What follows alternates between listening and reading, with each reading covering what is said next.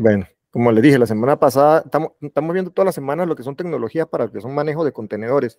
Estamos empezando como las más usadas. Eh, bueno, en caso de AppRunner fue una excepción, pero era porque era sencillito de, implementar, eh, de, implementar eh, digamos, lo que es el, el three-tier, ¿verdad? Un frontend, un backend y el, el, tema de la base de datos. y después ya conforme va pasando el tiempo, vamos a ir tratando de, de ir avanzando en tecnología. Hoy casualmente en la reunión que hizo Julio, eh, con respecto a los, a los stacks del tema de backend. Backend igual está muy relacionado con todo esto. Eh, él incluso hablaba de, hablaba de tecnología como Spring Cloud, ¿verdad? Y de cómo, cómo se pueden manejar contenedores y eso en, Spring Cloud. Entonces, tal vez ah, más adelante podamos entrar también en esos temas. Eh, ahorita vamos a ver lo que es ECS. Ya le explico qué es ECS. Bien, primero eh, es, eh, y si es, las siglas son de Elastic, Container Service. Esa es una tecnología que usa Amazon para correr contenedores, pero es una tecnología, digamos, es, em, la palabra es propietaria de AWS, ¿verdad? Está Kubernetes, ustedes saben que, el famoso Kubernetes, que y Kubernetes está, el Kubernetes clásico está el de, el de, en los cloud está el de, el de Azure, el de, el de AWS y el de, ¿cómo se llama? El de Google. Eh, en, con respecto al, al de Kubernetes de, de, AWS, porque ahorita estamos viendo temas de AWS, eh, el, problema que tenemos con Kubernetes es que Kubernetes es extremadamente grande, es un monstruo para a veces poner un, un, un, par de contenedores. Entonces, nosotros estamos buscando como alternativas a soluciones rápidas para un cliente contenerizar las aplicaciones y poder levantar las aplicaciones.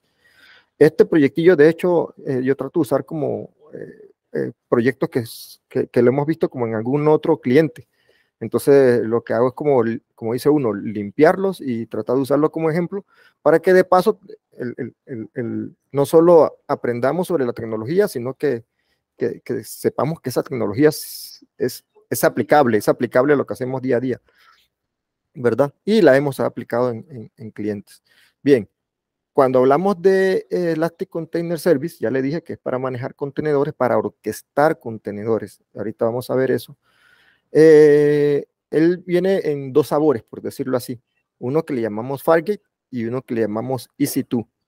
Bien, y ustedes han corrido Docker en sus computadoras. Entonces, ustedes han usado, por ejemplo, me imagino, por, por lo general, Docker Compose para levantar dos, dos pods allí.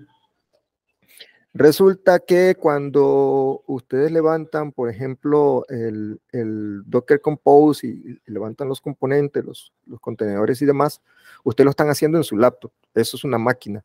Para cuestiones de, prácticas, cuando yo hablo de EC2, que es una instancia administrada, es precisamente eso, es como si fueran unos, unos servidores sobre los que nosotros corremos contenedores. Obviamente no se usa, el engine no es Docker, pero pero el concepto es como el mismo, es como si fuera su laptop, el EC2 es, es muy parecido en ese sentido.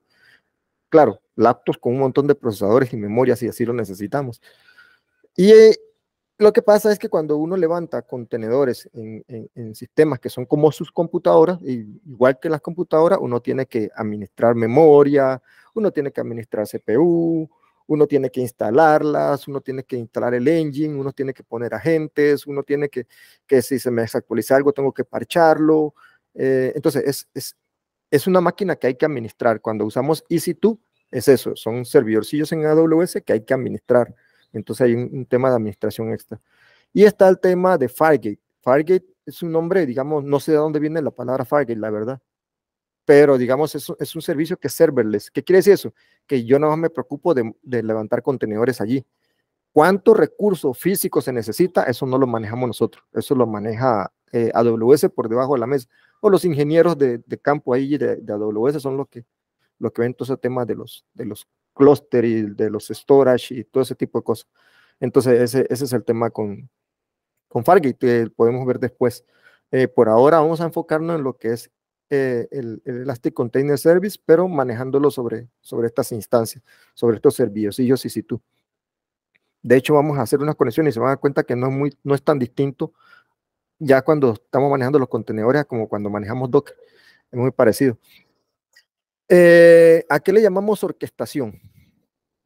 Bien, cuando hablamos de orquestación, hablamos de, por ejemplo, yo tengo un contenedor. ¿Qué pasa? Que ya la carga va subiendo. Yo necesito dos contenedores y la carga sigue subiendo necesito 3, 4, 10 mil contenedores, ¿verdad? Para poder manejar la carga. Usualmente uno en, un ambiente normal, como cuando lo hacía uno en, la universidad, uno metía más máquinas por ahí y aún así era difícil porque ¿cómo yo hago para redirigir el tráfico a un solo endpoint y, y que vaya un montón de máquinas que están detrás? Entonces, esa, esas tecnologías tienden, tendrían a ser muy complejas. Entonces, ¿qué es lo que hace ECS? Es que a través de ECS uno tiene todos los componentes, digamos, o todos los servicios de AWS que te permiten balancear ese tráfico sin que realmente haya como intervención humana. Ellos te ponen el balanceador. Entonces, tú le pones, le dices a ellos un estado, por ejemplo, yo necesito que máximo tenga 10 contenedores, mínimo uno y él dependiendo de la carga va a crecer hasta ese tope máximo. ¿Y, y, quién, quién va a balancear eso? Usted no se preocupa de cómo se balancean, ni, de los IPs, ni de los puertos, ni nada. Básicamente eso eh, se hace a través de, lo que son los balanceadores. Entonces, todo eso de, crear contenedores, ok, la carga bajó y se, se hacen los menos contenedores posibles para, para, para reducir gas, eh, el costo. Eh, todo ese, ese tema, eso le llaman orquestación, ¿verdad? O, reventó la aplicación en uno y, la, se cayó, yo no tengo que ir a pagarlo. La aplicación hace unos chequeos de unos health check que le llaman. Entonces, en esos health check, ella eh, determina si, si la aplicación le pasó algo y lo que hace es destruye ese, ese, ese contenedor y crea uno nuevo. Y va a tratar de mantener el estado, ¿verdad? El número de contenedores que, que nosotros deseamos. Entonces, todo ese movimiento de contenedores, eso es lo que le llaman orquestaciones. Bueno, eso es lo que, lo que llama, lo que hace ECS y lo que hace Kubernetes y estas herramientas para orquestar contenedores. Bien, el, laboratorio, si lo ven aquí, es un laboratorio que vamos a hacer ahorita, es, bastante sencillo. Eh, básicamente vamos a levantar una imagen. Yo puse aquí Nginx nada más para, como para browsearlo por encimilla, pero, pero en realidad no, como yo le dije, no, no tengo ahorita para este laboratorio, fue un poco apurado, no tengo como el front ni el backend. Entonces lo que vamos a hacer es levantar dos contenedores y probar que haya conectividad entre ellos. Pero ahí parece algo bien sencillo. De hecho, si uno lo hace en una laptop es bien sencillo, pero cuando ya uno se maneja en ambientes de contenedores, el nivel de complejidad crece bastante. Entonces hay muchas cosas asociadas alrededor de esa simple comunicación, que es lo que vamos a ver. Entonces vamos a montar ese web server pequeño eh, ahí le vamos a poner un, pequeño tool que es un cliente de Mongo, ¿verdad? Que con el cliente de Mongo lo que vamos a hacer es tratar de, alcanzar el contenedor, que es el segundo contenedor, que al, final es como una, pequeña base de datos de Mongo, ¿verdad? Entonces que haya conexión entre ellos dos. No solo eso, sino que también vamos a ver el tema de persistencia. ¿Qué persistencia? Yo tengo el Mongo. ¿Qué pasa si yo destruyo la, base, la base de datos? No, si yo destruyo el contenedor donde está el Mongo bueno, como esos son eh, lo que llamamos en inglés como es efímero, no sé en, español cómo es como... Efímero. efímero, sí. Entonces, como son efímeros, esto, eh, eh, y la data se pierde, ¿verdad? Entonces vamos a hacer una prueba y vamos a ponerle persistencia, cosa que nosotros podamos destruir hasta el tarro donde, donde está el mongo y que se cree, el sistema va a tratar de, él solito de recomponer de nuevo, recomponer el, el, el, el tarro ese, donde van las, los contenedores y va a tratar de recrear el contenedor de nuevo y nosotros vamos a volver después de eso a probar si los datos siguen allí, los datos que mandamos. Entonces, para probar el tema de persistencia. Eh, y vamos a ver el tema del, del escalamiento, de cómo el sistema escala, de cuando mandamos una aplicación nueva, cómo él saca la vieja para, para agregar otra nueva y cómo hace ese rolling sin que, sin que la persona se dé cuenta que, que hubo un cambio de, de la versión de la aplicación. Entonces eso lo, podemos ver ahí un momentito en la parte práctica. Digamos, al final usted en este mapa dice que hay un montón de cosas. Sí, digamos, al final los contenedores básicamente son estos, pequeñitos que estén aquí, que, en el ambiente de ECS le llaman task. Esos tasks son, son bueno, veámoslo así porque es un poco más complejo. Esos tasks son contenedores la diferencia del task es que dentro de un task yo puedo tener dos contenedores, los sidecar y el contenedor, pero bueno, no entremos en esos detalles. Ahorita estos son los... ¿Ah? Lo que, andas, lo que andas apuntando es al servicio, que es lo que provee. No, no, sí, eh, eh, digamos, estos pequeñitos de aquí eh, son los tasks, los que están aquí adentro. A ver, lo que está todo alrededor es el, el, servicio, el web service, que en este caso es el ECS service. Ahorita lo vemos. Entonces, este, está el, pequeño task, es que, como, que, como que la unidad mínima, digamos, la que contiene el contenedor. Pero a pesar de que nada más vamos a crear estas dos cositas y comunicarla, todo lo que está alrededor, aunque parezca increíble, es necesario. Y esa es la parte que a veces toma tiempo cuando uno construye estos ambientes, ¿verdad? Entonces, por ejemplo, para yo crear un ambiente a donde, donde corran estos dos pequeñitos contenedores, yo primero tengo que crear toda una red que es el VPC, ¿verdad? El Virtual Private Cloud. Dentro de ese VPC vamos a crear un, se va a crear, o ya está, porque lo creé, pero igual se los voy a enseñar, está el private subnet. Todo esto va a una red privada, o sea que todas estas cosas que están adentro nadie la puede accesar, solo, solo nosotros que la manejamos. El único punto para conectar es eh, alguno de esos servicios, el que decíamos al exterior, es a través de un balanceador, un load balancer, que digamos, sé que mantiene los certificados y, el que está expuesto al, exterior para que hagan la consulta. Todo lo demás está bien cubierto, está privado, digamos. Bien, entonces una vez creamos esta red privada, hay que crear un clúster, ¿verdad? ¿Qué es el, el, el clúster? como la unidad máxima de, de, donde vas a crear todos estos contenedores y todos estos servicios y todo lo demás, ¿verdad? Entonces aquí tenemos un, un, clúster, vamos a crear un solo clúster. Dentro del clúster vamos a crear los services. ¿Qué son los services? Un API es un service un, web, un, frontend, algo, una aplicación en, un frontend, eso, eso para nosotros es un service.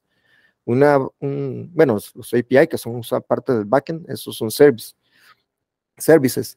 Entonces, eh, por eso que ellos mantienen el nombre de services. Entonces, dentro de, de, ese service es donde nosotros vamos a crear lo necesario para que corra un servicio, ¿verdad? De ahí viene el tema de services. Entonces, tengamos claro, la red, el clúster, dentro del clúster va el servicio y el servicio es el que maneja el contenedor. Bien.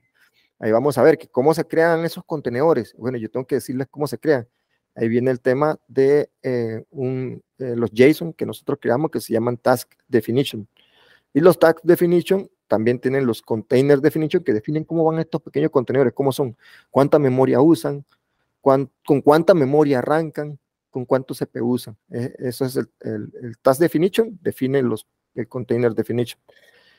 Y digamos, eh, dentro del servi service va todo este tema de, del escalamiento. ¿Qué significa eso? Que como es un service, un, ser, un servicio, yo puedo tener un servicio, pero ese servicio yo puedo, según la carga, meterle más y más y más de esos contenedores y que vayan creciendo. Eso lo hace la, lo que es el escalamiento de, la, de los tasks, ¿verdad? Ahora, ¿qué pasa? Acuérdense que yo les dije que esos, esos pequeños contenedores van dentro de un tarro, ¿verdad? No, no, sé si lo recuerdan, que es como, como si fueran la laptop. ¿Qué pasa? Que si ustedes incluso meten contenedores en su laptop y empiezan a meter más y más y más y más contenedores, llega un momento que la laptop ya no da más. Se quedó sin procesadores, se quedó sin memoria. Eh, igual pasa cuando usamos eh, EC2, ¿verdad? Eh, el EC2.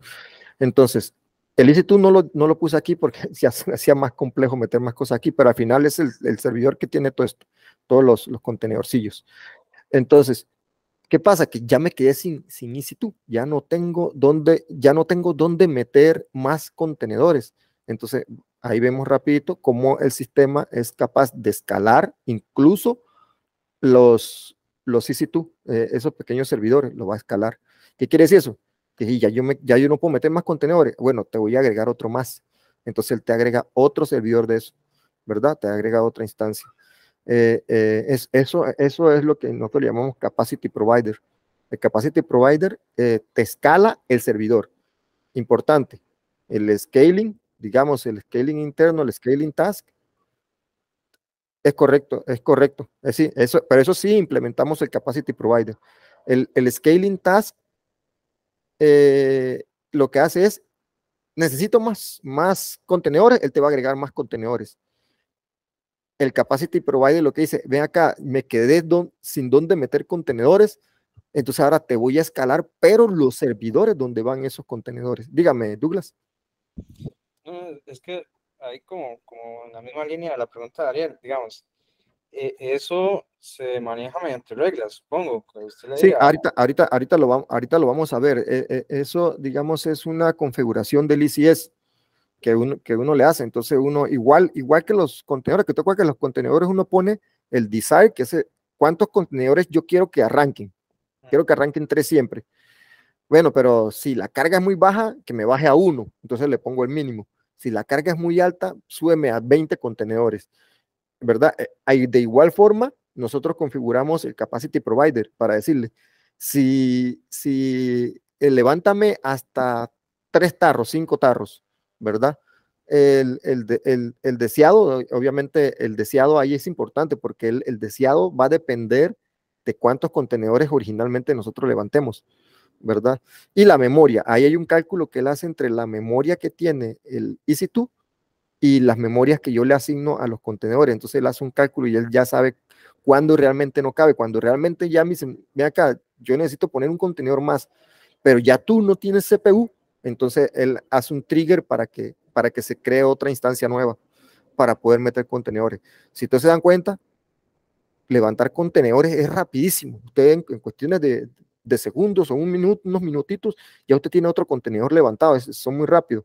Levantar una instancia como es un dispositivo, casi que como un dispositivo físico, por decir algo, en realidad virtualizado, pero veámoslo como un dispositivo físico, él toma tiempo que lo cree.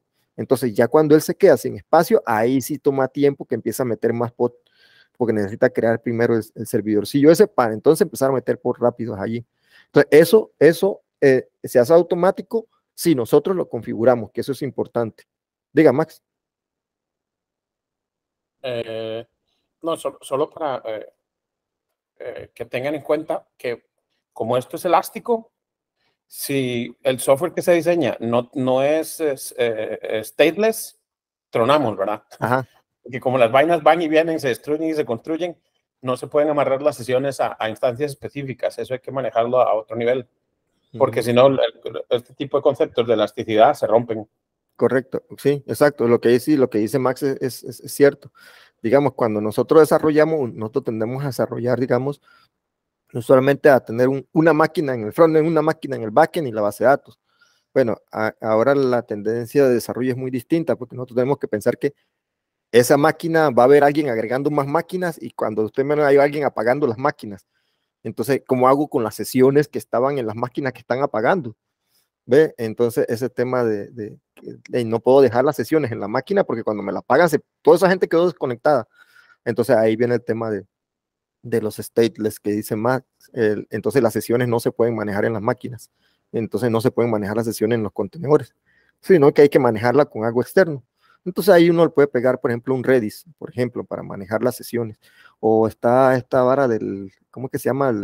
la que tiene Spring Boot, Es Spring Boot, que tiene una vara para manejar esos estados también. Muy interesante. No me acuerdo cómo se llama. Pero eso es básicamente lo que dice Max, eh, donde guardamos las sesiones.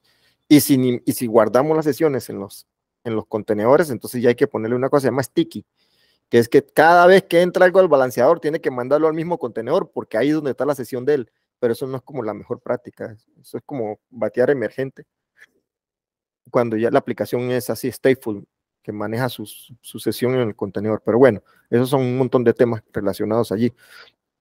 Eh, ah, y también otra que de hecho Douglas la ha visto, que es que si yo tengo, por ejemplo, jobs, ¿verdad? Jobs corriendo en cada en contenedor y yo tengo ese job para ejecutar una función específica.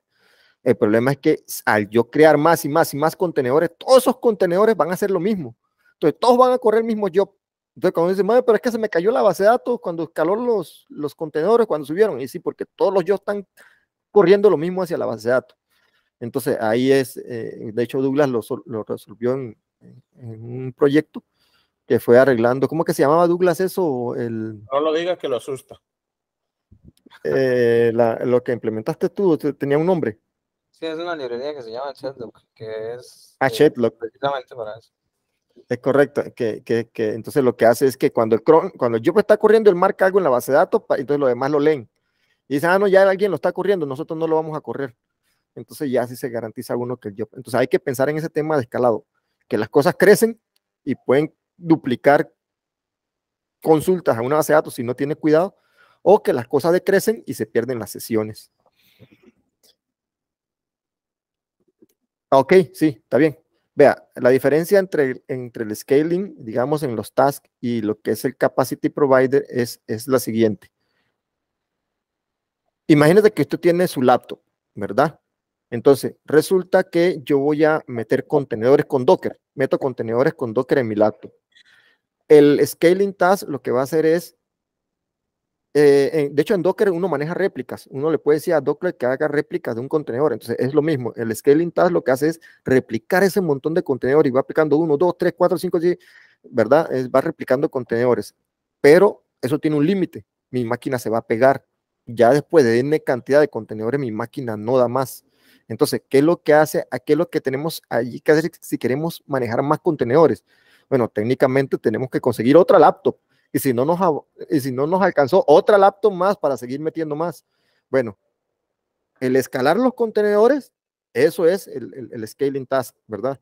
Y el escalar el número de laptops, eso es el capacity provider. No sé si a él le quedó claro, Sam. Sí. Ok, eso básicamente es.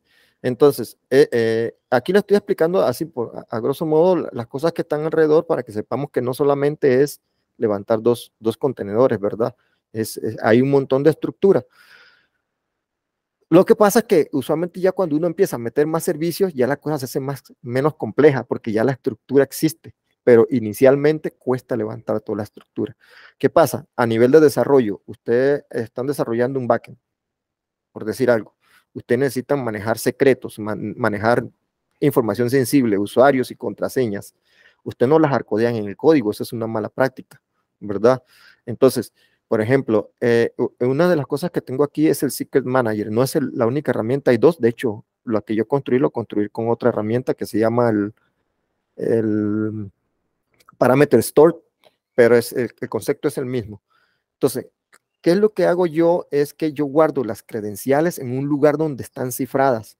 Y las credenciales, a la hora que se crea el contenedor, es que yo la jalo para poder que la aplicación la use. Pero si usted mira la imagen, si usted pudiera agarrar la imagen con la que construye el contenedor, usted dice, pero las contraseñas no están aquí. No, y las contraseñas no van a estar ahí y no tienen por qué estar allí. Entonces, ahora también vamos a ver rápido cómo yo puedo eh, tener esas, esas es, como un, un vault que le llaman, ¿verdad? Donde yo tengo las contraseñas y todo demás. Y como a través del contenedor yo puedo hacer puliar esa, esa información sensible para luego insertarla dentro del contenedor y así tenerla separada. Entonces es una mejor práctica. E incluso hay permisos para yo poder llegar a consultar eso. Si, el, si alguien creó un pod por ahí, no puso, no tiene los permisos adecuados, ni siquiera puede llegar a consultar los secrets. ¿verdad? Eso lo vamos a ver. El tema de la persistencia de datos, eso se hace con un servicio de AWS que se llama eh, Elastic File System. Eh, básicamente es como cuando antes usábamos NFS, que son esos servidores, digamos que esos servidores de red que, te permitían tener folder que uno conectaba a las máquinas. Bueno, es, lo mismo, eso es lo que hace FS. Entonces, eso lo, nosotros estamos agarrando un, un, una porción de, de esos storage gigantes, ajá, Diga, Max. No, no digo que es como que es, el concepto es el de un NAS, es un Network es, un NAS, es un, el concepto es, de un NAS. Es como, digamos, el, el, un Google Drive, pero privado de, de, de, Amazon que se utiliza dentro de la VPC para que todo el mundo pueda escribir en el mismo lugar y leer del mismo lugar. Ajá, y, y si, tú, si tu máquina se desconectó, de hecho, hablando de ese mismo, eh, ese, esa, eh, ¿cómo se llama? Eh, analogía que dio Max, es como que, como, como, como Google, y, uno desconecta la máquina y la apaga y al día siguiente la enciende y tú te vas al mismo folder y ahí están tus datos. Bueno, ese es el concepto que se maneja con FS, ¿verdad? Y eso nos permite, por ejemplo, eh, nosotros vamos a probarlo como MongoDB. No es como lo más ideal usar base de datos así, pero, pero digamos una opción. Eh, y vamos a, desconectar el, el, el, Mongo, apagarlo, a destruir lo mismo y cuando se reconstruya de nuevo, él tiene que ser capaz de volver a, tener exactamente la misma data porque la mantiene persistente en los, en los FS. Los FS son unidades que tienen, son, ¿cómo se lo explico? Son esos clústeres de, storage como los NAS que hice, eh, eh, o los SAN que, tiene, que se manejan de red. Entonces ellos tienen la capacidad de que ellos tienen replicación, tienen backups, tienen para hacer snapshots, eh, para devolverme tres días atrás en, en- el tiempo y, y usar la data de hace tres días. Entonces, todos esos servicios los tienen ellos. Por eso que se les relega a ellos esa función. Yo nada más me conecto. Y digamos, igual, yo puedo pegar el TAS a una base de datos. En este caso, esta parte es como que la única que no vamos a hacer, pegar la base de datos. La verdad es que no me dio tiempo para, ta- para tantas cosas. Bien. Otro detallito que vamos a ver ahora, ¿verdad? Yo sé que parece mucho, es por ejemplo, yo les dije que esos contenedores se crean y esos contenedores se destruyen a cada rato. Los contenedores son como pequeñas máquinas y entonces ellos tienen IPs, ¿verdad? IPs y puertos. Resulta que yo me pego una base de datos, pero ¿qué pasa si yo destruyo la base de datos y la base de datos me aparece con otro puerto, con otro IP? Y ya yo perdí el endpoint, ya yo no sé a dónde pegarme. Entonces, ¿cómo asociamos ese IP de, de, es- de esa máquina que se creó nueva, de, ese contenedor que se volvió a crear, con un nombre, de tal forma que mm, ya sea el backend o el frontend, digamos que lo busque, uses un nombre y no esté cambiando el IP, siempre el mismo nombre, un nombre de dominio, digamos.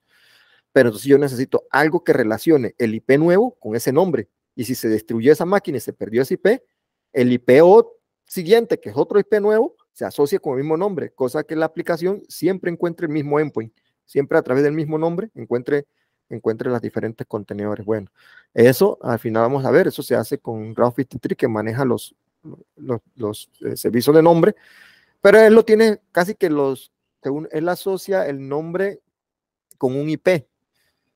¿Y quién cambia ese IP cuando, cuando cambia el contenedor? Ahí entra un servicio pequeño que se llama CloudMap.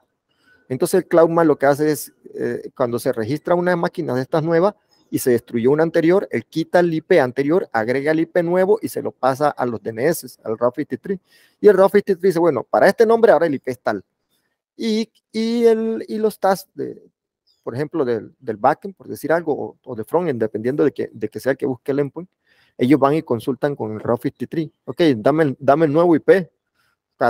Con este endpoint que yo tengo con este nombre y él le da el nuevo IP y ellos van a volver a encontrar el, el dispositivo. Entonces, nunca se le pierde, siempre lo va a encontrar.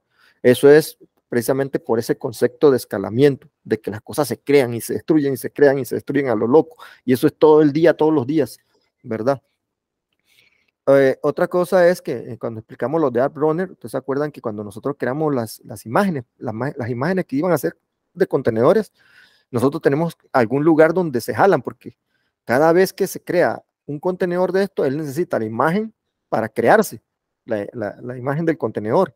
Entonces, que esas imágenes se pueden guardar en lugares como Docker Hub o se pueden guardar en un servicio de AWS que se llama ECR. Entonces, ¿quién es el que determina qué imagen voy a usar?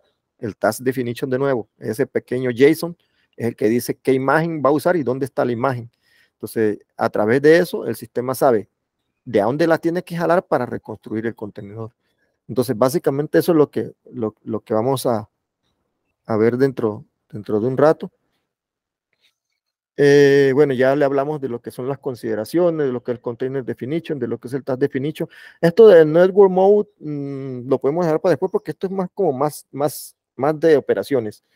Esto es básicamente, bueno, vamos a verlo aquí abajo ahorita. Así que dejémoslo para ahora. Eh, lo de Capacity Provider ya se lo expliqué. Y lo del Service Discovery es el servicio de, que relaciona el nombre del endpoint con el IP del, del contenedor nuevo que se creó. Por ejemplo, es, ¿qué es el Service Connect? Es lo mismo, pero se supone que era para facilitar la vida y que fuera menos complejo que el Service Discovery. La última vez que yo usé el Service Connect, regresé al Service Discovery porque me pareció más fácil, la verdad. Pero al final los dos hacen lo mismo. Es crear un nombre para, de, del endpoint para, los, para, para el service, que en realidad es el que contiene ese poco de, contenedores, y, y, y, relacionarlo con el IP de, de los contenedores que están allí. Lo de la persistencia ya les dije.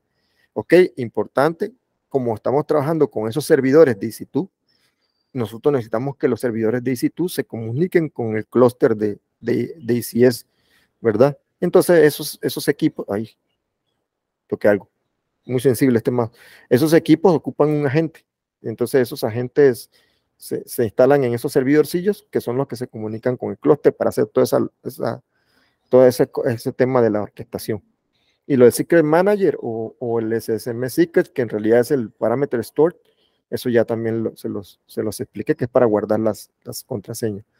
Bien, ya para a meterle un poquito de, de más tema a lo que son la gente, lo- los de operaciones, digamos, la- los de DevOps.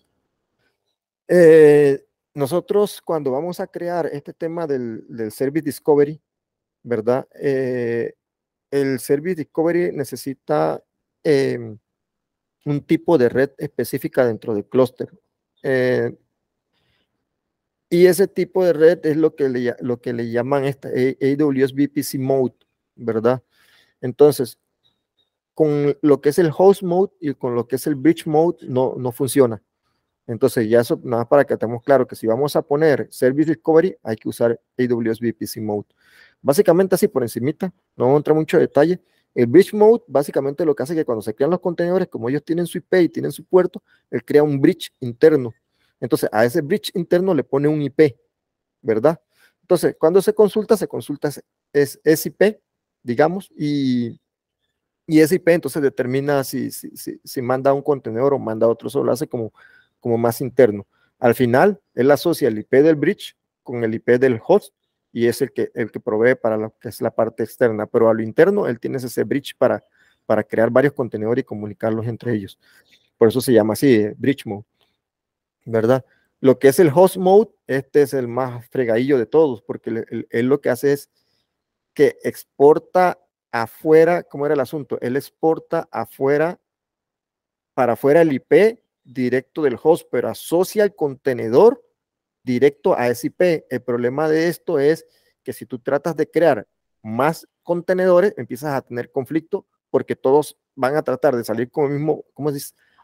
Van a Puerto. tratar de levantarse ajá, con, el, con, el, con el mismo puerto, el mismo IP. Entonces ahí empieza a, a tener como esos problemillas de, de conflicto. Entonces lo que, lo que él hace en ese caso es que empieza, levanta un, un IP y pone puerto 80, al siguiente IP le pone el 81, al siguiente el 82, al siguiente el 83, al siguiente el 84. Entonces aquí en el host uno lo, va, lo que va a tener es una lista larga de puertos y, y, para orquestarlo ya saben que para eso se ocupan otros servicios extras que con, con, el, con el balanceador más que todo, para que el balanceador sea el que sepa qué puerto es de quién.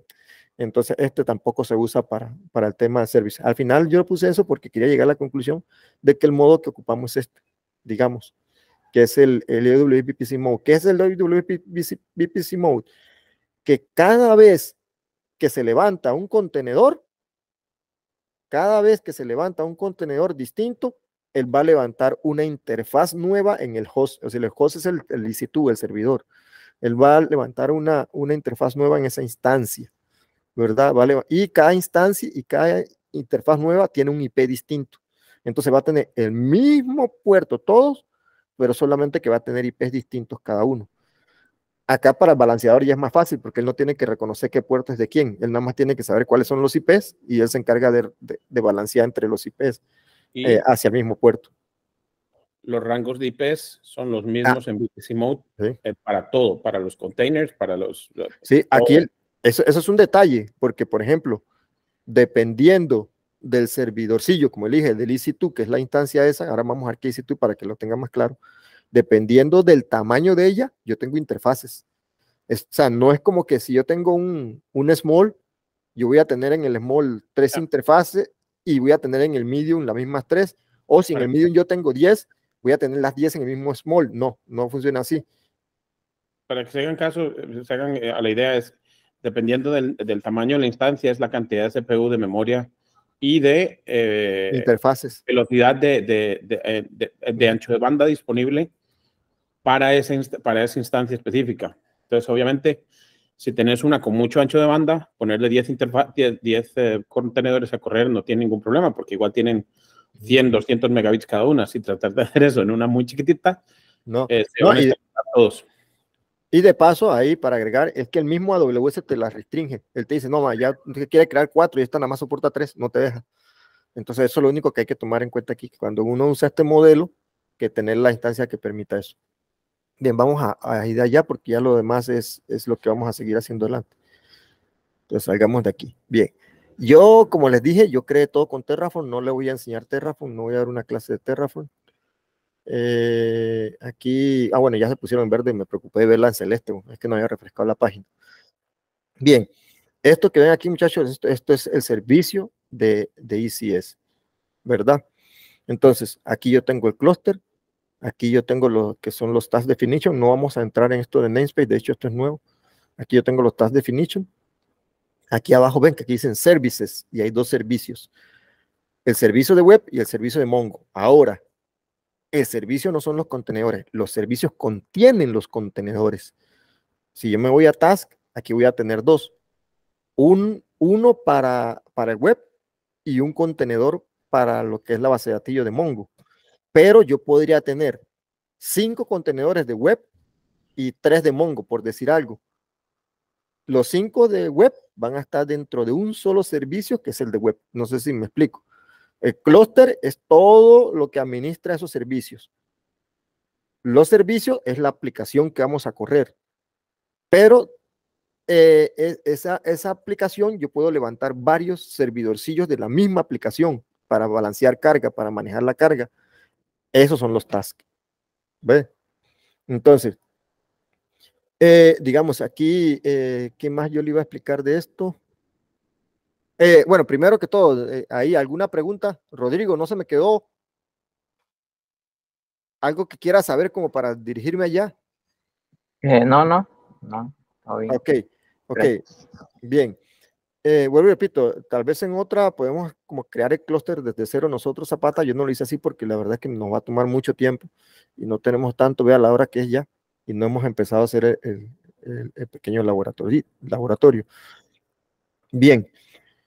Eh, como les decía, esto aquí, ellos corren sobre unos servidores. Este es el tema de la, de la infraestructura. Aquí yo tengo los, lo que son los, los, eh, las instancias donde ellos están corriendo. ¿A qué le llamamos instancia? La llamamos instancia a los servidores. Vean esto. Vámonos a donde están los EC2, los pequeños servidores. Eso. De hecho, lo tenía abierto, pero para hacer la pantomima. Aquí no vamos a las instancias. Y ves, aquí yo tengo un servidor y acá yo tengo otro servidor. Esos servidores tienen características de memoria, de procesador, tienen sus IPs privados. De hecho, no sé, creo que aquí se me fue la mano y puse un IP público, pero no sé para qué, porque yo estaba en una red privada. Eh, eso tengo que arreglarlo en el Terraform. Entonces, estos son los servidorcillos. Ellos tienen su, el tamaño de disco. Yo le puse un disco de 30 gigas, lo que quepa en 30 gigas allí. Eh, es como el, tamaño máximo que me permiten sin, sin, sin comprarme eh, extra. Bueno, cuando son free tier, eso no importa ahorita. En los detalles, aquí tiene que decir el tipo de instancia que estoy usando. Ve, el instant type estoy usando una, una small. Si yo me voy acá, por ejemplo, a internet y pongo eh, T3 small instance, él les va a decir aquí más o menos qué tamaños tienen. Ve, aquí dice T3 Small Instant, dice que tiene dos CPU, dos vCPU y tiene 2 GB de RAM nada más. No es lo mismo que usar una T3 2X Large que tiene 8 CPUs y 32 GB de RAM. Ve, es diferente. Dice Global. 8 GB de RAM y, y- y- digo, perdón, 32 GB de RAM y 8 CPUs. Entonces nosotros para el web estamos usando ese chiquitito, uno de, de 2 GB y, y 2 CPU.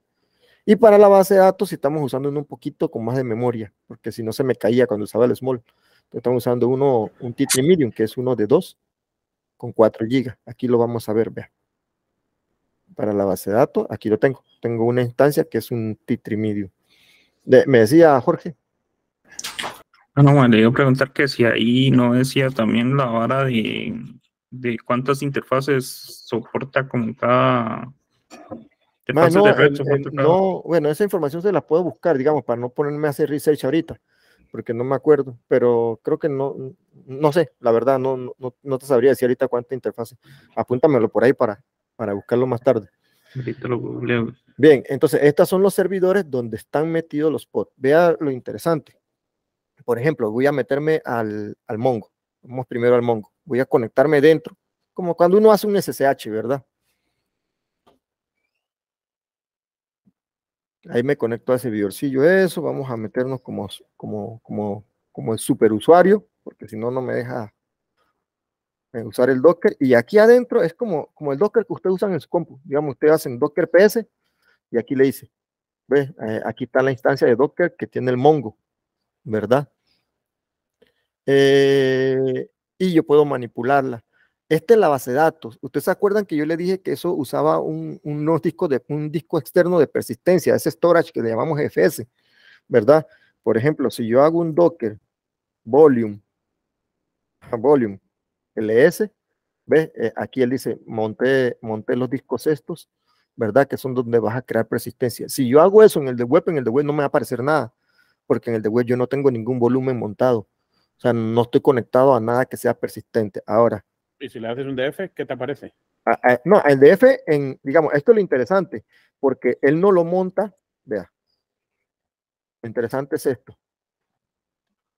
¿Ok? Lo interesante ahorita es que se haya quedado pegado. Se murió. ¿Será que murió de la instancia esta? No, eh, porque te acaba de volver a responder. Eh, no sé, no sé por qué no me permite. Al solo un DF. No, igual se quedó pegado. Está raro. No sé qué está haciendo. Bueno, no importa. El asunto aquí es que si yo eh, llegase a ver igual los el, el, el, los, el storage a nivel, a, eh, acuérdense que esta es la instancia, este es el servidor. A nivel del servidor, lo interesante es que él no monta los volúmenes, los volúmenes lo monta a nivel de los contenedores, de los que están corriendo dentro del servidor. Por ejemplo, si yo hago un docker exec menos it y ponemos aquí contenedor. Vamos a loguear. Aquí lo que está haciendo es metiéndome al contenedorcillo, ¿verdad? Aquí me metí al contenedor. Si en este contenedor yo le hago df menos h al contenedor, el contenedor me dice, ve, aquí hay uno que dice 127, eso no es un, eso no es un servidor, eso no es un disco local, ese es un disco de red, ¿verdad? Entonces, él lo que me está diciendo que, bueno, el disco al que está pegado es a este. Y, es, el que está pegado. Sí. Y esa E, yo supongo que eso viene del tema de, de, FS, porque hace un rato vi esa E, yo, ¿qué significará esa E?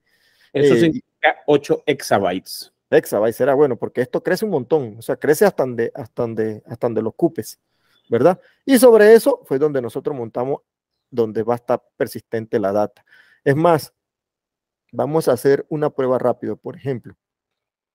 Vamos yo a llenar a, 8 exabytes. Exacto, exacto. Primero voy a pegarme, digamos, a, vamos a crear una base de datos que se llama MongoDB, aquí mismo.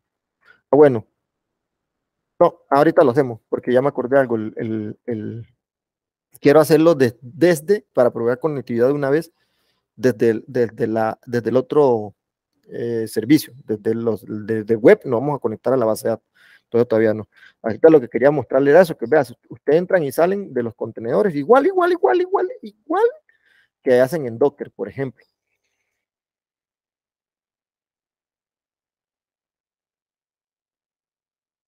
Ajá. Entonces, eh, aquí a nivel de las instancias, ah, mira, ve, aquí terminó una, ¿por qué? Aquí creo otra, bueno, no importa. Ahorita vemos eso. Aquí vamos a conectarnos al web service.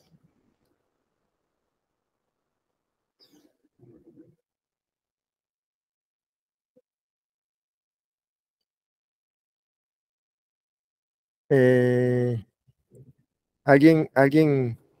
Yo, eh, como le creó una nueva instancia, esa nueva instancia se la cobra como si fuera una nueva.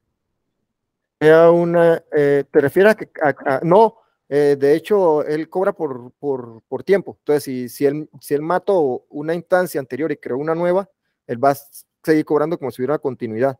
De repente, okay. allí, allí ese es el tema del, del escalamiento. Eh, si yo escalo y necesito más instancias, pues me va a cobrar las instancias el tiempo que ya están arriba.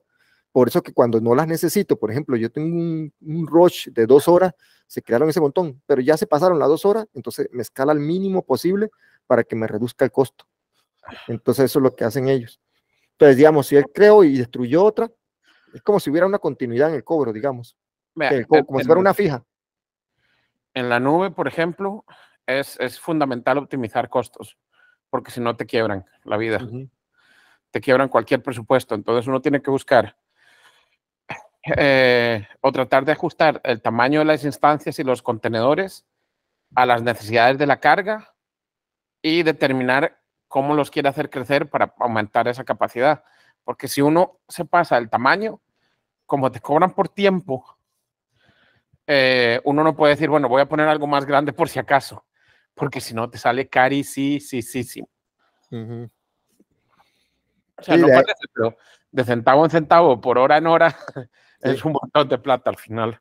De hecho, porque es por eso que sale mejor escalar muchas máquinas pequeñitas que, que tener una máquina grande y, en, ese, en, ese, tema, porque las máquinas grandes te van a cobrar más y, y esa no la puedes bajar así nomás. Vea, aquí yo, eh, lo que le decía, yo, hago un Docker Volume LS y como este es el web server, el web server no necesita ningún volumen, entonces no, no, no hay ningún volumen cargado, aparece vacío. Entonces vamos a hacer algo. Vamos aquí con el Docker PS, ahí tengo el contenedor, volvemos a conectarnos al contenedor, que sería este de aquí. Nos estamos pegando al web server, ¿verdad?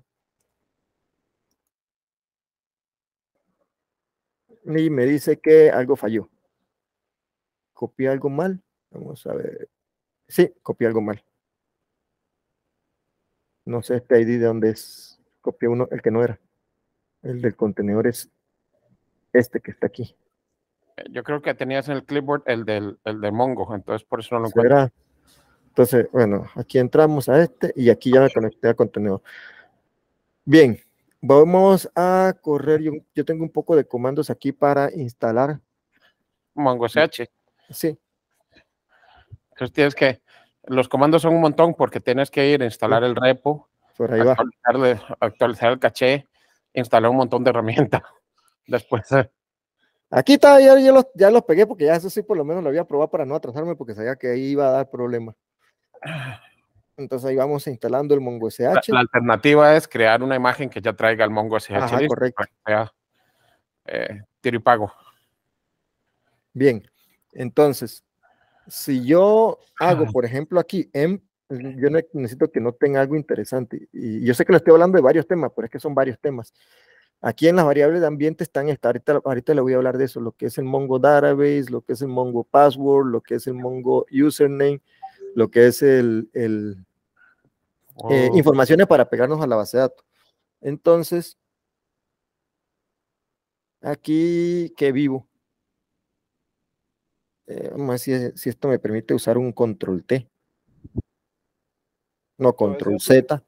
Entonces es lo mismo que uno ve a través de, de, del browser, cuando ve las variables de ambiente.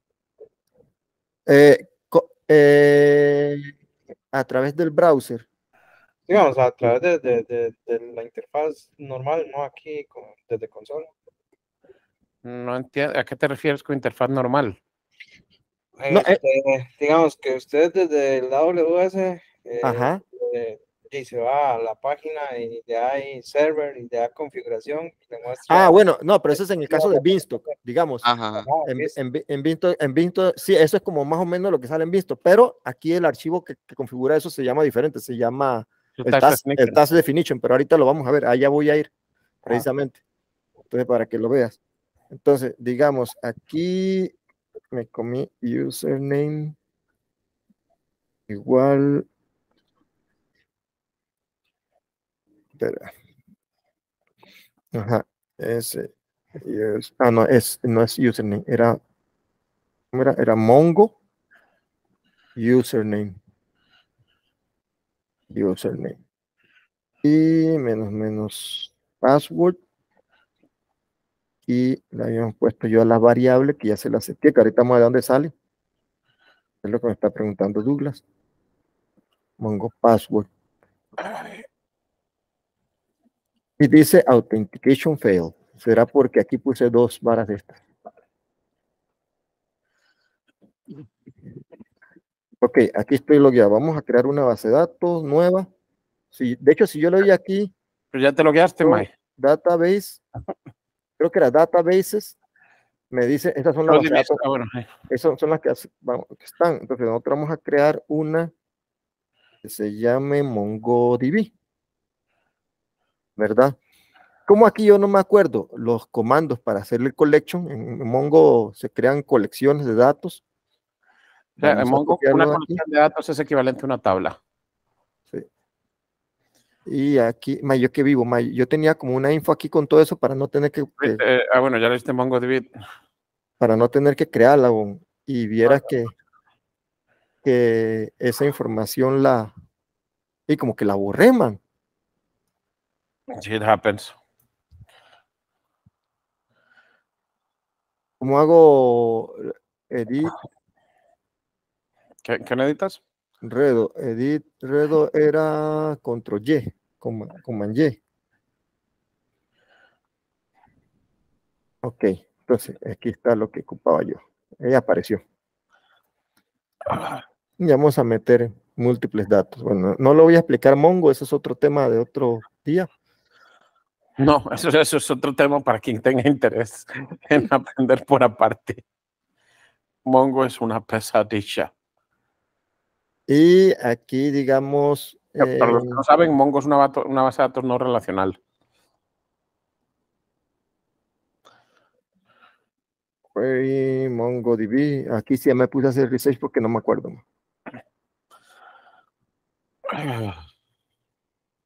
¿Cómo era que se buscaban los... Necesito verlo.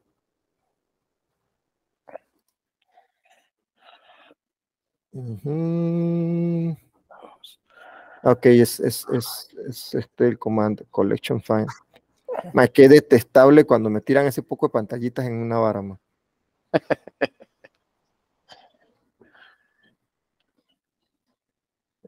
DB collection name find.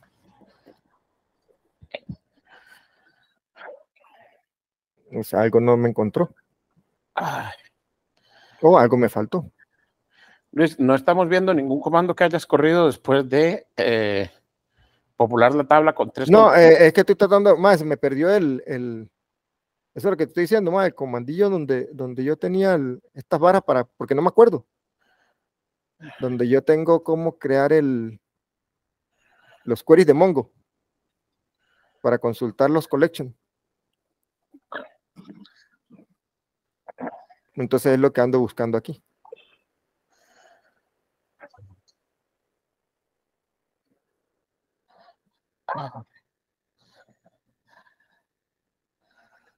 ¿Qué es lo que ando tratando de buscar? Yo tampoco me acuerdo de eso. aquí lo encuentro. Bueno, el asunto es que aquí está ah. collection name find, pero no veo que eso me traiga nada ahorita. Es el mismo. Sí, es el mismo.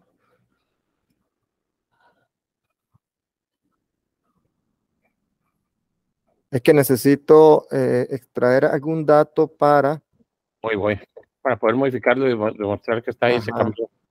Ah, bueno, collection name. ¿Cómo le, pusiste la, ¿Cómo le, pusiste el nombre a la, el, al collection, name? El collection name. Estás poniendo... Eso es lo que me falta. Exacto.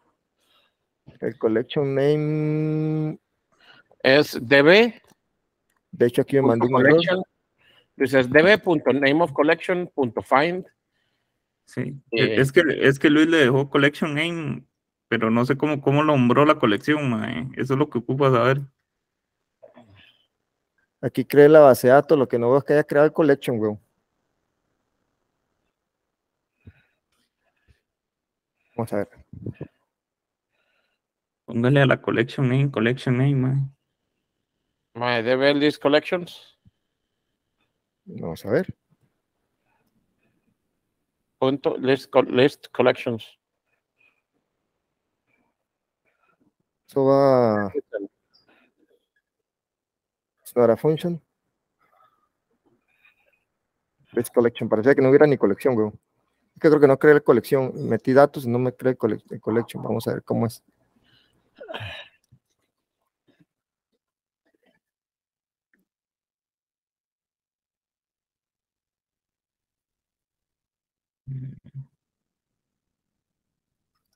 Collection. Más list collections con, con la C mayúscula, ¿no? Ok, esto es lo que me hacía falta. Vamos a verlo así mismo. My collection. Ok. Y aquí es donde tenía que popular los datos dentro de la colección.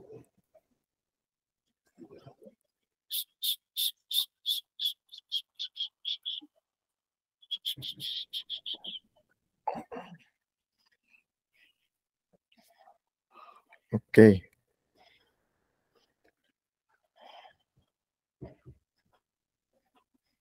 ¿Qué collection se llamaba My Collection?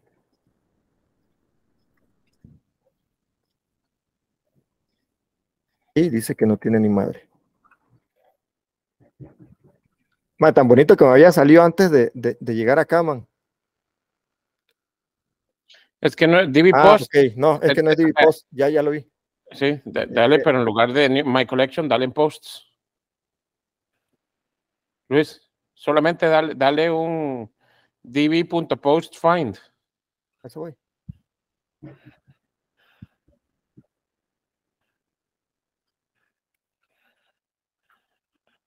No, Luis, en lugar. Eso, exactamente. No, pero es que no aparece nada porque yo no lo creé dentro del. Pero es que te Ah, es post. la S de Posts. Aquí estamos. Bueno, aquí están. Ese comandillo es importante, este es el que me interesa a mí ahorita, porque yo lo único que quiero demostrar es y- que, Entonces, dale, debe Posts, insert one, y le- así puedes meterle un campo extra después, o antes, o cuando no, quieras. ahí, ahí lo importante ahorita es como ver que después que destruya yo el, el- la instancia, que yo pueda volver a jalar esto de nuevo, ah, usando este mismo comando.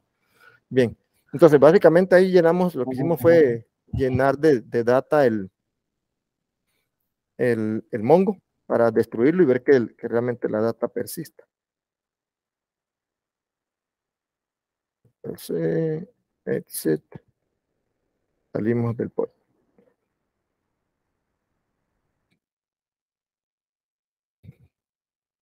Bien, ahora aquí intencionalmente vamos a hacer algo. Vamos a agarrar el Mongo y vamos a destruirlo. Voy a agarrar la instancia, la voy a terminar hacia lo chancho. O sea, la instancia ni siquiera es el pod que estaba corriendo adentro, todo el servidor donde está corriendo mm, lo, lo tiré. Bueno, eso va a tardar un ratillo mientras se da cuenta de que no existe y dice, necesito recrear uno nuevo y todo lo demás. Acá, El Toolkit Man es el, el ID de la instancia, para que vean que sí cambió. sí. Entonces, exacto. De hecho, aquí eh, la ID de la instancia que acabo de matar es este, termina en S2. Vea qué casualidad. termina en EC2. Qué casualidad, compa, que no se pierda uno. Me queda apenas. Bien. Eh, aquí el tema es el siguiente. Estamos hablando del tema también. Ese, ese es el FS para, para lo que es mantener persistencia. Aquí lo que íbamos a ver es el tema del- de, donde me decía eh, eh, Douglas de, se guardaban la variable. Esto se guarda aquí en, en el task definition. Por ejemplo, si yo me voy al Mongo, vean qué interesante. Aquí eso se guarda como un JSON. Si yo guardo el JSON, ves, ese es task definition JSON para ese servicio. Aquí yo defino, por ejemplo, lo que le decía yo del container definition, que es cuánto CPU va a usar, cuánta memoria va a usar el contenedor, ¿verdad? De, de ese, de ese servidor. Eh, Estoy Las tratando- variables cambiantes de la instancia Los y del, y, de- y del, y del container o del task Ujú. no son las mismas. No, importante, vean, intencionalmente yo a este le puse en las variables de ambiente, se las puse en, la- se las definí en un, un parámetro que se llama environment. El problema de definirlas así es que las tengo, el, esta es mala práctica, que es que yo estoy hardcodeando la variable de tal forma que en el JSON las estoy viendo, las estoy jalando directo del JSON para, para que él las setee en, en- para que él las en los contenedores, ¿lo ven? Entonces aquí diciendo que la base de datos, el usuario es este, y que el password de root, del, digo, el password del, sí, de la base de datos es este. ¿Ve? Y aquí es donde yo defino lo del mount, mount, mount, mount point, digamos, y aquí defino lo que es el source volume, que es que le estoy diciendo aquí que es, que es eh, un FS, que yo le llamé FS Mongo, que lo podemos ver ahora, y que eso me lo va a poner en, en el contenedor como data, de- el, el DB, ¿verdad? Eh, ajá.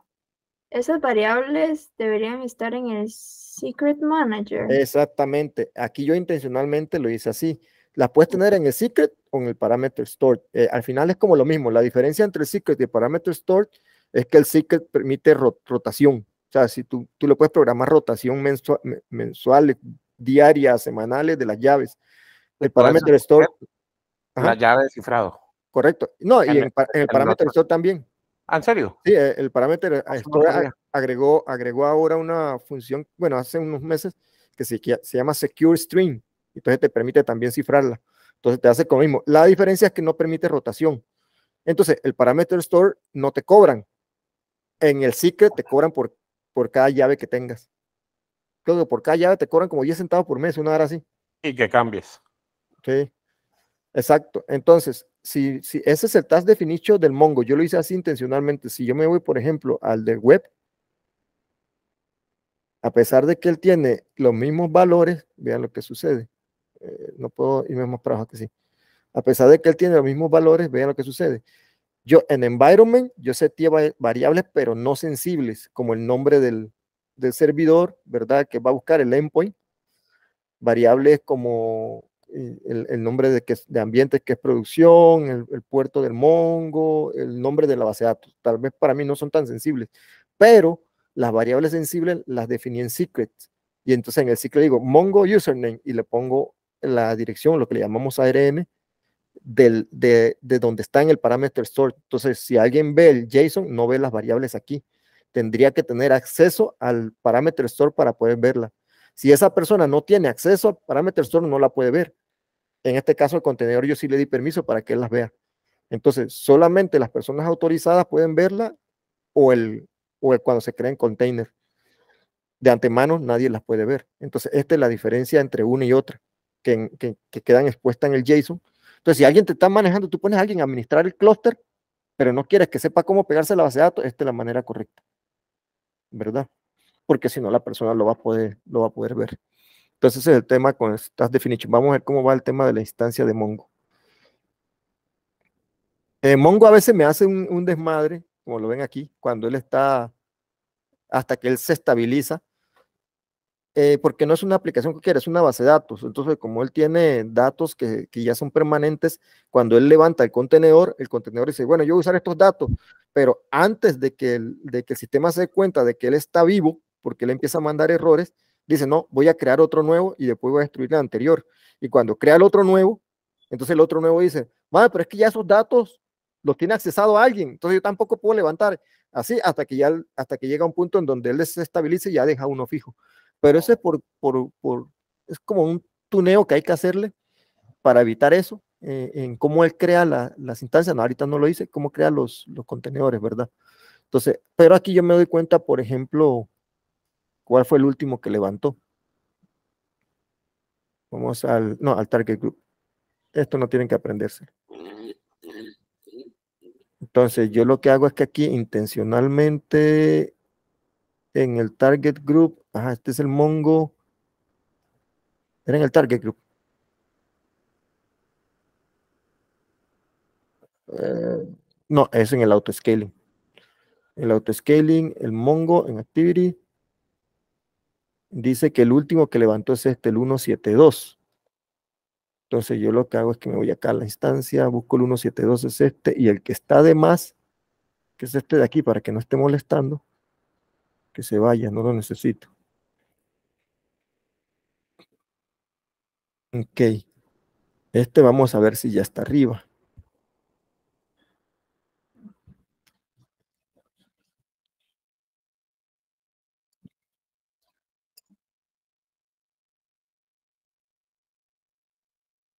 Ajá, dice que está arriba. Vamos a ver si, si lo logra ver el, el web service. Vamos a pegarnos a web service. A ver si el web service me, deja pegarme ese ya. Acuérdense que el primero tiene que registrar el IP en los DNS para que este, este, el, este encuentre el, el IP asociado con el endpoint, ¿verdad? Docker PS. Eh, un segundo. Antes de que se vaya, porque quiero hacer una prueba rápida. Antes de que se me vaya la idea aquí.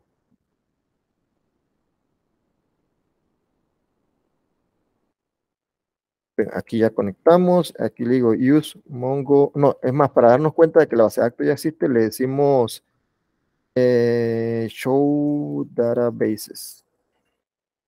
Y ven, aquí está la base de datos. Y esta es una instancia nueva y ya se pegó y ahí está la base de datos.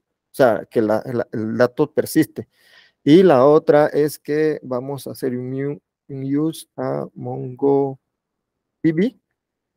Aquí entramos y corremos el query, el último que es, era este. Y aquí están los datos.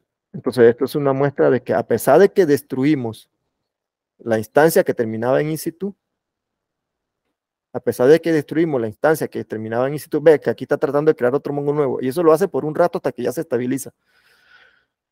Eh, pero eso es más como tuneo que yo no hice. Eh, eh, la instancia anterior era esta, la que hice terminar, que está en EC2. Estas son instancias nuevas que tienen el Mongo. Y aún así, los datos persisten. Y a pesar de todo el desmadre que está haciendo aquí, de, creando y destruyendo instancias hasta que se estabiliza, él persiste los datos. ¿Dónde están esos datos? Ese es el servicio este que vamos a acá. Pues, vamos a cambiar un poquito aquí. Este es un servicio, no vamos a hablar de FS, solamente sepan que es un servicio de, AWS que permite, eh, es como, son como unos storage, ¿verdad? Que se manejan aparte y tienen backups y tienen un montón de cosas. Entonces aquí te dice cuánto espacio de base de datos utilizado, hay 300 megas en este momento. ¿De dónde? Yo no sé de dónde saca 300 megas a base de datos, pero ahí está.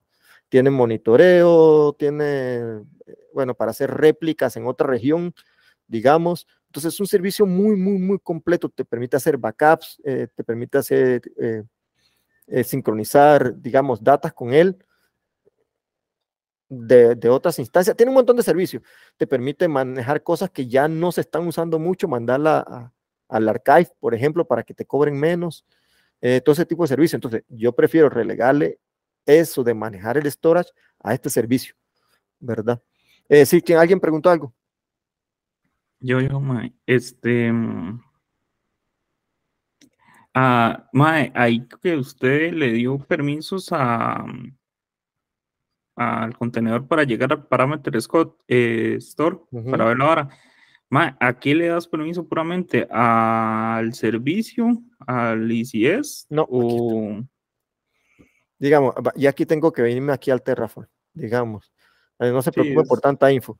Sí, digamos, yo aquí me, surgió la duda porque, digamos, o sea... Eso está aquí en IAM. Digamos, yo un paralelismo a... este, es el, este es el permiso que yo creo el permiso, estoy diciéndole que específicamente sea al, al, al, ¿cómo se llama? Al objeto dentro del servicio, no al servicio completo. O sea, aquí le estoy diciendo que le dé permiso solamente sobre, sobre Mongo username y sobre Mongo password dentro del parámetro store. Ajá, ajá, pero, nada. ¿a quién se lo dio? Eh, sí aquí, aquí vamos. Déjame dónde está. SSMC, que aquí está. Se lo estoy dando específicamente al task, no a la, no al, no a la instancia, solo al task, solo mm. al contenedor. E, esa, era mi mamá. ¿A quién se la da si se la tiene que dar al task? Y el parameter store es este servicio que está acá, eso se llama. se, la das al task porque, digamos, al final de los, los containers ahí se mueren. Sí, o sea, si alguien se metió a la, instancia, desde la instancia no lo puede ver, tiene que meterse al contenedor para poder ver, para poder verlo. Digamos. Eh, digamos, ese servicio es otro servicio este, que es, que es, el System Manager. Dentro del System Manager tiene un montón de opciones. Está este parámetro store, aquí lo ven. Si yo entro aquí a parámetro store, ve, aquí están las llaves que yo creé. Y estas llaves están puestas como secure string. Si yo entro aquí, yo tengo permiso, pero aunque yo tengo permiso, a la primera me los da así cifrado, tengo que darle show para que me los muestre. ¿Ve? Eh, otra persona que no tenga acceso al, parámetro store simple y sencillamente no lo puede ver. Entonces, ¿qué es lo que hacemos aquí? Vuelvo y repito, aquí es el, el ECS. Ahora, lo que me decía Sam al comienzo, Sam, que tú me decías que, que, que si este era el servicio que era más complejo. Entonces ya tú te diste cuenta que, por ejemplo, la otra vez que dimos al runner, al runner yo estoy casi seguro que tú lo viste mucho más sencillo que ver y si es ahora, y si es, maneja un montón de, de, tecnologías alrededor, digamos, para a veces poner cosas tan sencillas como poner dos pods a correr y que esos dos pods se comuniquen como lo vimos, por ejemplo. Eh, otra cosa, eh, digamos, interesante es si yo hiciera un cambio en el... Bueno, ahí ustedes lo pudieron ver. Si yo hago un cambio, vamos a hacer algo sencillo. Igual, vamos a hacer lo mismo que hicimos hace un rato, pero vamos a destruir el web server. Para mostrarles algo. Si yo destruyo el, el web server, él me va a decir que está haciendo un deployment. No estoy seguro. Y no se echa el container, ¿no? ¿Mm? ¿Por qué no se echa el container? No, es que lo que quiero es como forzar que él haga un deployment, pero para que haga un deployment tendría que cambiarle algo. Bueno, algo tan sencillo, man. Vamos a irnos al, al Terraform de nuevo. Voy a irme a la configuración del ICS ya para ir terminando esto. No, aquí en variables, Terraform. Ahora yo no quiero que esto sea Nginx. Vamos a quitarle. Bueno, aquí puede que reviente un poco de varas, pero vamos a ponerle aquí Ubuntu. De por sí no importa. File, save all. Mandamos a correr el Terraform de nuevo. Quitamos estar aquí que no deja ver.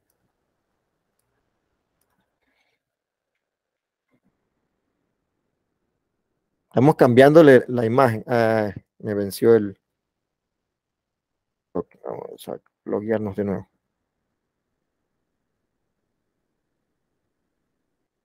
para terminar. Va terminando. Y esto me dice que 253 220. Ahora sí. Terraform apply.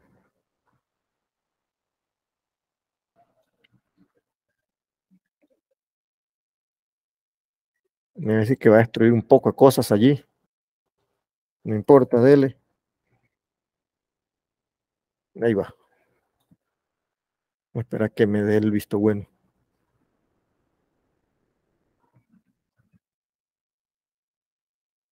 Ok. Si yo ahora me voy aquí, por ejemplo, al ICS,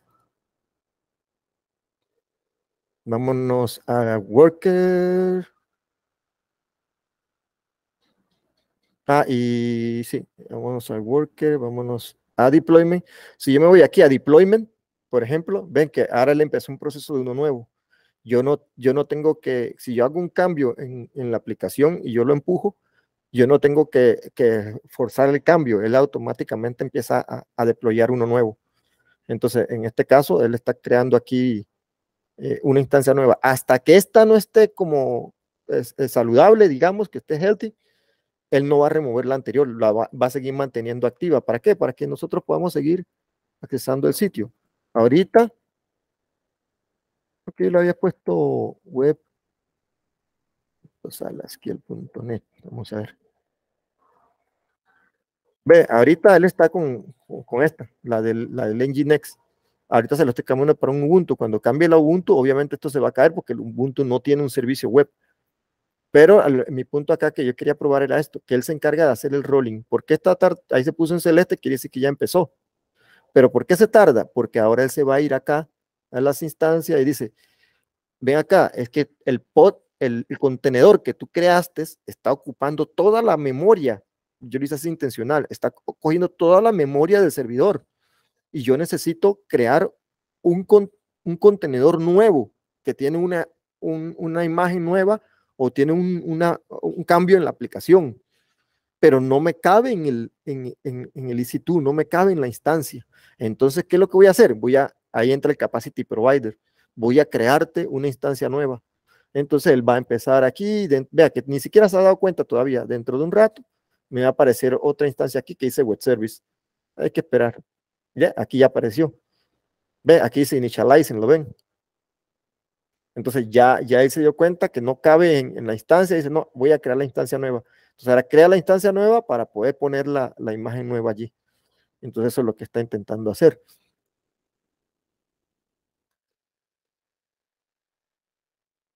Eh, vámonos al cluster, Vectus, ajá, Mongo. Ve, aquí ya entonces aparece verde porque este, el, el Mongo está ocurriendo.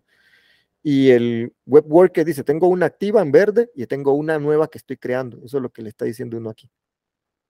¿Qué es esto que está acá en deployment?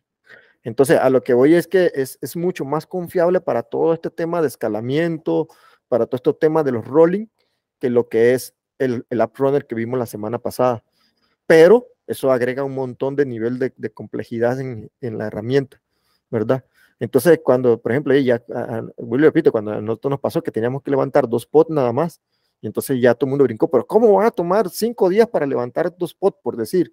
Bueno, en realidad no tomaba cinco días, lo que pasa es que había, había otra, otra, otro asunto allí que había que, que analizar, un research que había que hacer antes, entonces no tomaba tiempo, pero igual lo que quiero decir es que no es tan sencillo como, como el Docker Compose, si yo levanto dos, dos contenedores y ya, a partir de dos imágenes. Toda esta configuración alrededor hay que, hacerse, hay que hacerse primero. Ya le dije que las variables se guardan aquí en los task definition, ahí donde están las variables. Eh, lo bonito de Terraform es eso, que yo cambio algo y lo mando y, y, ya le empieza a hacer la actualización, no tengo que recrear nada a mano. Y aquí la parte que le decía yo, infraestructura, ve que aquí está esto, eh, ¿cómo se llama? Ariel, esto es lo que, lo que, lo que me decía yo. Ah, si tú creas el clúster y no le configuras esto del capacity provider y ese quedó sin espacio para crear un contenedor nuevo y él nada más te dice no hay espacio, no te deja seguir más adelante. Simple y sencillamente ya no hay más espacio y hasta aquí llegué. No te permiten, tendrías que borrar el contenedor anterior para que te deje crear un contenedor nuevo porque no tiene espacio. Entonces, pero si tú le configuras este, el capacity provider aquí, digamos, eh, eh, él te permite hacer eso. Igual, digamos que vamos a crear uno ahí, pero no lo vamos a crear. Aquí se le pone nombre, aquí le dices, ah, bueno, el, scaling group, que eso hay que crearlo aparte, ese es el, lo complejo de ICS, ¿verdad? Y el scaling policy, eh, con base en qué vas a, crecer. Eh, si quiere que sea a través de CPU, esto es scaling protection, no sé exactamente qué es. Ok, dice que debe ser que la saca de cola, pero no las terminas. Eso debe ser como para que uno quiera hacer análisis forénsico, que algo pasó y necesito ver por qué se está cayendo la instancia, uno le activa esto. Y aquí yo le digo, y cuando, se, que, cuando la quieres que, que cree una instancia nueva, cuando ya se llenó al 100%, o cuando ya está al 80%, créate otra nueva, o cuando está al 70%, aquí se lo configuras, básicamente. Ese es el scaling policy que maneja el, el, el, capacity provider. Pero el capacity provider, como les dije yo, hay que configurarlo aquí. Si no se configura, simple y sencillamente, si no caben más pod, no cabe más pod. Y ahí lo dejo botado. Eh, no sé, muchachos, eh, ¿algo más? Eh, ya vimos el tema de los secrets, cómo se pueden eh, ofuscar los, los usuarios a través de los secrets. Eh, ya vieron que en el task definition la diferencia que es que cuando están cifrados no se ven, cuando están puestos así hardcodeados, ahí aparecen en el task definition. Eh, vimos el tema de, de que se pueden jalar del, de los CCR, como hicimos la, la vez anterior con el app runner. En este caso, ah, importante. En este caso, si se fijan aquí, yo le pongo nada más Ubuntu Layers. Cuando ustedes hacen un Docker y en el Docker usted ponen Ubuntu Layers, eh, ¿a dónde va a buscar? A ver si alguien me dice. Cuando yo en Docker Hub. En Docker Hub. Entonces, estas imágenes las está jalando de Docker Hub. Yo no la tengo, pero yo pude haberle puesto aquí, eh, no sé si tenga algún ejemplo. Sí, otro, otro repo. Sí, yo, le puedo, yo le puedo poner aquí, por ejemplo, eh, bueno, yo creo que yo tengo una imagen acá en ICR. ¿Ves? Aquí en el ICR yo debo tener una imagen, vamos a ver. Yo le puedo poner, por ejemplo, no, dice que aquí no tengo, por lo menos no en, creo que no en California, vamos a ver en Virginia. Sí, en Virginia tengo, de hecho la, la que usamos. Ve, aquí está en Virginia, yo puedo entrar aquí y yo tomo este, este, este, eh, el URL este que, que está aquí, ¿verdad? Y se lo pego allá. Entonces ya él sabe que con esto, él viene a buscarlo aquí en, en AWS, viene a buscar la imagen en el repositorio este. Pero como le estoy diciendo nada más cuál es la imagen, por default él se va a Docker eh, aquí vamos a ver cómo va. Dice que ya creó la otra. Vea, aquí si se dan cuenta, muchachos, ahí dice, pero, pero todavía mantiene dos instancias. Sí, él tomó tiempo en darse cuenta que, que, necesitaba crear otra. Y, después toma su tiempo para decir que ya la otra que no está usando la tiene que destruir. Eh, ¿Cómo yo me doy cuenta cuál está utilizando? Bueno, una forma es la que dije yo. En el scaling group, él dice cuál es la última que creó. La otra forma es que yo entro a la instancia. No, de hecho, aquí en el mismo ICS, él te dice, te dice cuál es la instancia que está usando. Vámonos al clúster, nos vamos acá. Dice que todavía no ha terminado de crear, todavía la tiene en deployment. ¿Ve? No, de hecho esa, como le dije yo, podía fallar en algo. Algo no tomé en cuenta cuando creza porque ya lleva 33 fail. Entonces él me dice aquí,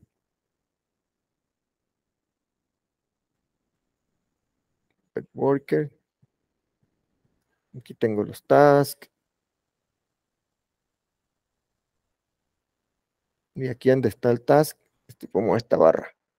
No, ni siquiera me da, es el container run ID. ¿Dónde es que estaban las instancias? Estaban donde están los services en infraestructura. Container y aquí están las instancias. Entonces aquí me dicen los números de instancias que está usando. Bueno, en este momento es que tiene una usada y la otra la sigue viva porque está tratando de crear ahí, pero no va a poder. No va a poder porque hay un error allí que no está dejando que suba con la imagen que le mandé. Pero bueno, eso fue como, como intencional. Lo que yo quería que vieran aquí era la parte del, de cuando él empezaba a hacer los deployments. Que es este que está aquí. En el service, y dentro del service me voy al deployment, y allá en deployment me dice, ya llevo 39 fail, ¿verdad? No creo que tenga logs porque la imagen no ha subido, sí. Ah, bueno, sí. Ah, bueno, sí, tiene, tiene razón. De hecho, aquí me dicen los logs porque está fallando. ¿Se acuerdan que yo le dije que yo tenía un health check? Él está chequeando si, si, si el servicio está vivo. Pero como yo estoy subiendo una imagen con Ubuntu y la imagen con Ubuntu no tiene Nginx ni nada que levante en el puerto 80, entonces el health check está fallando. Y se ven acá, eh, eh, estoy haciendo un query al, al puerto 80 para ver si está vivo y no responde. Entonces no lo puedo levantar. Entonces básicamente eso es. Eh, no sé, muchachos, ya yo creo que alguna otra pregunta aquí de, de sobre ICS, algo que le interese saber. no, todo bien. una, el, el Nginx sigue funcionando, digamos, ¿verdad? El, el MAE como, el, como el otro no ha subido, el si Nginx sigue si yo, si yo le hago refresh aquí, digamos, ven que la imagen ahí sigue saliendo. De hecho, yo puedo abrirme otro browser, no sé. al, final, viéndolo así como a grandes rasgos, mae, parece mucho, o sea, es muy parecido a Kubernetes, solo que de, la dificultad donde, más bien, es donde usted traslada la dificultad, digamos. Aquí es, que, es que tiene, tiene sus, sus pros y sus contras, por eso que le decía, ve, aquí todavía está corriendo. Eso es porque como él no puede crear la nueva, hasta que él no cree la nueva, él no me va a sacar la anterior. Así funcionan los bots también. Sí, la, la, diferencia, la diferencia, digamos, es, y por eso la semana pasada vimos AdRunner, ahorita estamos viendo ICS, posiblemente después vamos Kubernetes. Eh, la, la, la, diferencia más que Kubernetes está hecho para cuando tú manejas, eso que discutimos la otra vez, 5.000, 10.000, 50.000, 100.000 contenedores. ¿Ve? Entonces es, es, es, un arma extremadamente grande para manejar esos, esos volúmenes de carga y todo eso. Mm. Y si es, es como menos práctico para ese volumen de, datos. Y, tiende a ser como también, más. También, bueno, fuera el hecho de que Kubernetes es más caro, pero la administración es mucho más sencilla que. O sea, una vez que usted tiene la aplicación definida en YAML, o sea, es mucho más sencillo que sí. Bueno, Kubernetes, no, y que yes. O sea, Kubernetes en, en, en, en AWS, porque Kubernetes eh, puro, es, ya tú sabes que es otra cosa por el control plane y todo lo, el XCD y toda esa. Ajá, sí, pero digamos, a nivel, o sea, el, el, una cosa es el administrador de Kubernetes como admin y otra es el administrador de, o sea, el dueño de la aplicación. Ajá, ahora, ¿qué, qué, es la diferencia? Por ejemplo, en Kubernetes el tema de networking, eh, tú lo puedes manejar con, con, con terceros, como era el caso de, eh, ¿cómo que se llamaba este que usamos en, para, para manejar con Cálico? Por ejemplo, tú puedes manejar Cálico o digamos para soluciones de, de, de, de los filtros, de los firewall, puedes usar otras herramientas. Para soluciones de los balanceadores, tú tienes una, dos, tres, cuatro herramientas para usar. Tú tienes, eso no es el caso de Nginx, de ECS. En ECS es como que, no, tu balanceador es este y tu networking es este que te doy yo y tú no puedes ponerle esas herramientas de terceros que en Kubernetes sí, digamos. Entonces, es como que yo te lo doy más masticado, pero usted usa esto. Sí, sí, sí, pero digo yo, al final el tema de, de, de, que un pod o un task no va a levantar hasta que el otro esté. Ah, sí, eso es igual. Es, sí. los dos son, los dos son orquestadores, uh -huh. digamos, los dos son orquestadores. Y la otra es, eh, ya para no cansarlo más, es que el, el digamos, eh, ah, ya se me fue, se me fue la, la, idea de lo que le iba a decir más. Eh, bueno, depende de lo que quieras hacer, como te dije yo. Entonces, para una solución de un cliente que uno ocupe así como, como levantar unos poquillos contenedores y si es funciona muy bien, ¿verdad? Siempre y cuando tú sepas que eso que te da es lo que se va a usar, que no puedes meter cosas nuevas. Entonces, y, y si es funciona muy bien. Y la otra es que que una ventaja de EC2 versus Fargate es que Fargate, que es lo que hablamos al comienzo, es que a pesar de que Fargate es más fácil, Fargate, si tú tienes una carga constante durante todo el día, las 24 horas, Fargate sale caro. ¿Ves? Entonces, en ese caso es mejor usar EC2. EC2, la desventaja es que es más complejo, pero te puede salir más barato. Si tú tienes carga, como que son así, una, una, horita, una, una, dos horitas al día y ya, entonces, en ese caso, usar ECS con, con Fargate. Igual, si ya, vuelvo y repito, si ya tú necesitas meter cosas más complejas, entonces ya hay que yes. Si tú no lo que necesitas son correr unos pods y no te preocupas cómo, y si es. Y, y si la otra vez analizamos el tema de AppRunner, que yo ocupo correr eh, dos contenercillos, digamos, en un periodo corto de tiempo, tienes que analizar que posiblemente ni siquiera ni si, un, ni, ni, ni si tú ni Fargate en ECS, sino que con AppRunner todavía te puede salir mucho más barato si es en un tiempo corto, por ejemplo. Y lo importante de AppRunner es que eh, AppRunner es más amigable, digamos, con el desarrollador, para que el desarrollador se, se encargue de desarrollar y no tanto en todas estas cosas que trae ICS, o no se tenga que enfocar tanto en las cosas de, de Kubernetes. ¿Ve? Entonces ahí es donde tienes que balancear entre cuál uso, entre si uso uno o el otro. Pero ahí estamos. ¿Algo más, muchachos? Pero ya, Luisito, gracias, man. Estamos bien. Rodrigo, ¿cómo va, eh, Sam? Ah, ¿Douglas? Bien, bien. bien. Ah, bueno. Pero ese bien suena como que me perdí un poco de cosas. Bien perdido yo. son tantas cosas a la vez que... No, que... Eh, a, a, aquí la, la, idea, digamos, mía y de Meteo Desarrollador es que yo entiendo, por ejemplo, hay unas cosas que los devos vamos a entender mejor pero la idea de que usted tenga acá es que por lo menos usted tenga ese punto de apreciación de cuándo usar algo o cuándo no usar algo. Por ejemplo, ya yo sé que ustedes se van aquí y usted dice, no, me, esta hora tiene una manera de, de, de, guardar las contraseñas sin tener que meterlas ahí en el, en, en, el asunto, o no, que hay una manera, yo, yo sé que hay una manera de que se cree persistencia para esto, pues ya ustedes saben que eso está allí, ¿verdad? Que eso es importante, ya ustedes conocen que, bueno, y para unos pocos contenedores podemos usar esto, bueno, que cuando estaban en Enron, el caso de Enron, tú dices, pero ¿por qué Enron no usó esto y, y, manejamos contenedores con esta vara? Ma? ¿Ves? Entonces, hubiera sido más fácil que, que, ese, que, que Winston, ma, que, que, Sí, porque no haces. Entonces... Sí, y, esta, y tuviste que esta vara es como más, por decirlo así, proactiva, es más reactiva. Entonces, eh, te permite manejar la, la, los rolling y todo eso de una manera más segura, digamos que como lo hacíamos allá. Entonces, se puede usar esta cosa como ECS. Eh, y esa es como, como la idea, que, que, ustedes, por eso me, me, me, gusta que participen, porque así ustedes van adquiriendo como conocimiento de las herramientas que hay y más o menos qué se pueden hacer con esa herramienta.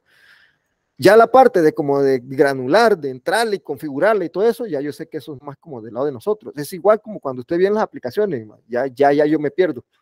cuando ya, te están, ya están viendo backend y frontend, ya, ya me, yo me pierdo. Entonces, y, y, y, vuelvo y repito, y la idea al final es que usted conozca un poquito lo nuestro y nosotros entender un poquito lo suyo y al final el mecanismo sea como uno solo, ¿verdad? Todo el engranaje con una sola función, no, no que seamos esos entes separados donde, donde no logramos como entender el trabajo de los demás. Entonces, esa es como la parte importante. Ya a uno se le da una idea de más o menos qué Eso es. Qué y, y, y, y, qué no es, se podría hacer, digamos. Es correcto. Y eso, para, para, para mí es de mucho, de mucho beneficio. Eso, de eso se trata.